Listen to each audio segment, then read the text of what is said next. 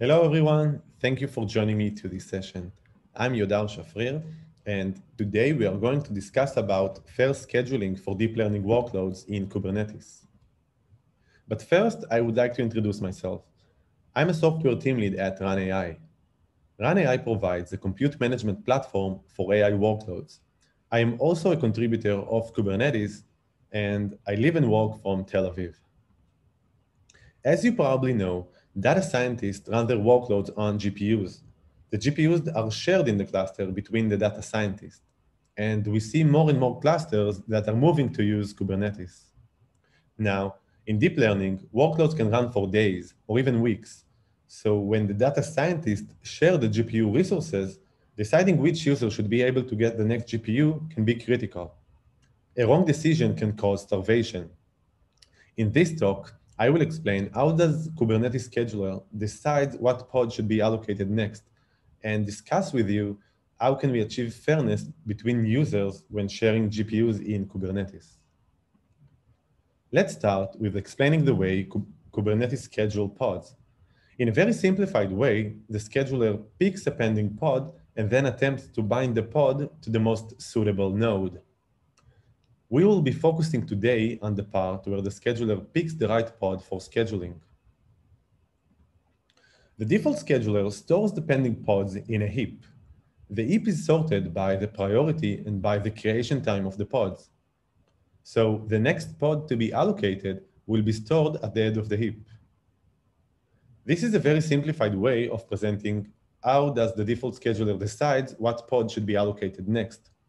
There is also another heap called pod backoff queue and a map for the unschedulable pods but they are not relevant to the purpose of what I'm about to explain, so we will not get into them. Using the default scheduler of Kubernetes for sharing a cluster with a limited number of GPUs can cause fairness issues because data scientists can monopolize the cluster. One way for users to monopolize the GPUs is to submit pods with the highest priority they are allowed to submit as users. This would make their pods move to the top of the heap causing their pods to be allocated first. As you can see in this example, Bob submits pods with higher priority than Alice, so his pods will be at the top of the heap and therefore will be scheduled first. Eventually, Bob can monopolize and use all the GPUs in the cluster. Another way to monopolize the GPUs is to submit as many pods as possible. This will cause more pods to be in the heap and even have smaller creation time. As you can see in this example, Bob submitted many pods, and the heap contains mostly his pods, and therefore you will also have more GPUs allocated. So our motivation is to build a fair scheduler, one that knows to share the GPU resources between the users in a fair way, regardless of the creation time and the pod priorities. So we want that even in, in our examples where Alice submits less pods and she submits pods with lower priority, she would still get the same amount of GPUs as Bob. Now let's discuss how can we achieve such a scheduler. In V1.15 of Kubernetes, the architecture of the scheduler was changed to use the scheduling uh, framework. The scheduling framework is more pluggable and provides several extension points to change the behavior of the scheduler. It was a big game changer for building a different scheduler uh, rather than the default scheduler because it reduces the need for developers to build their own scheduler from scratch and try to keep up with all the Kubernetes features. We have examined the scheduler framework for implementing a fair scheduler, and we decided not to do it. The reason we decided not to use the framework was that we wanted to use a different data structure for the pending pods rather than just a simple heap of pods. And the framework simply doesn't let you change this data structure. So we decided to build our own scheduler. The data structure we use is a two-dimensional heap.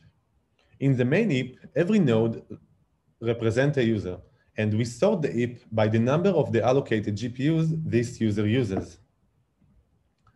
Now, every node of a user is associated to another heap of his pending pods. The pending pods are sorted just as in Kubernetes by priority and by creation time. So if once again, I compare this data structure to the heap of the scheduling framework, now we can associate the pending pods to a specific user and sort the users according to their load on the cluster, rather than just using a simple heap of pods. The way we allocate pods is this. First, we pop the first user from the users heap. Then we pop the first pod of this user and allocate this pod. In our case, in the following example, Alice is the first user in the users heap. So we will allocate her first pod and update the number of allocated GPUs Alice currently uses. Once we will do that, the heap will be updated and Bob will now move to the top of the heap. Notice that at the end of the users heap, we always have the most starved user. This helps us in, uh, in the goal of achieving fairness because we know who is the most starved user and is the one that should get the next GPU. Once again, we pop the first pod from Bob's pods and allocate this pod. We will continue to do this flow until there are no more free GPUs in the cluster. So once we will update the heap, Alice will move once again to the top of the heap and we will allocate her pod and we will do the same for Bob. As you can see, now the GPUs are shared fairly between Alice and Bob. This solution will provide fairness when deciding which pods should be allocated next. But is this solution good enough in order to provide fairness between the users? Let's examine the following scenario. Let's assume that Bob has submitted many long-running pods when the GPUs were free. Because he was the only active user, we want to allow Bob to use the whole cluster, and maximize the, util the utilization of the GPUs. So we will allocate all the GPUs to Bob. Now, when Alice submits pods, her pods will remain in pending state and Alice will be starved until Bob will finish to use the GPUs. Bob can now run the GPUs for weeks, uh, so Alice can be starved for a very long time. This means that user can still monopolize the GPUs. In order to solve this problem, we added another algorithm to enable preemption between the users. The way we handle the preemption between the users is the following. We calculate the number of GPUs every active user deserves at a given moment. Then we run a simulation where we preempt the pods of the users who are monopolizing the GPUs and attempt to allocate the pods of the starved user. If the simulation succeeds, we preempt the pods and simply let our allocation algorithm to apply.